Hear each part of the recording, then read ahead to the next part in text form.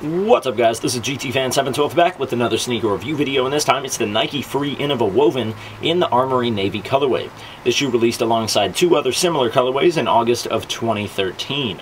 The colorway is listed as Armory Navy, Armory Navy, and Armory Slate, and the retail price is $180. Now let's get into the shoe. Starting on the lateral side, you'll notice the Armory navy colored woven nylon upper. This upper is hand woven and takes about 8 hours to produce. At the heel of the shoe, the woven upper connects to a Armory slate gray suede heel cup. The 5.0 free sole is sail with silver speckling throughout. The medial side is symmetrical to the lateral side.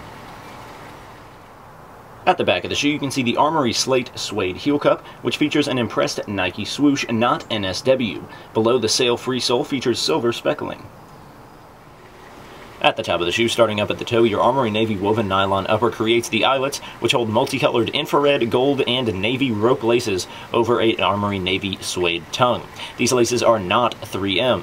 The suede tongue is much flimsier than the stiff leather tongue of previous Inneva releases. The inner lining is composed of an infrared-colored premium leather, and the insole is not leather on this Inneva, but rather a mesh-like cloth material in Armory Navy with Nike branding at the heel in gold. The outsole is the standard Nike Free 5.0 sole in sail with black rubber traction pods at the toe and heel. And that will wrap up the review portion of this video. I'll give you guys some detailed shots of the shoes now, and then I'll lace them up and we'll see how they look on feet.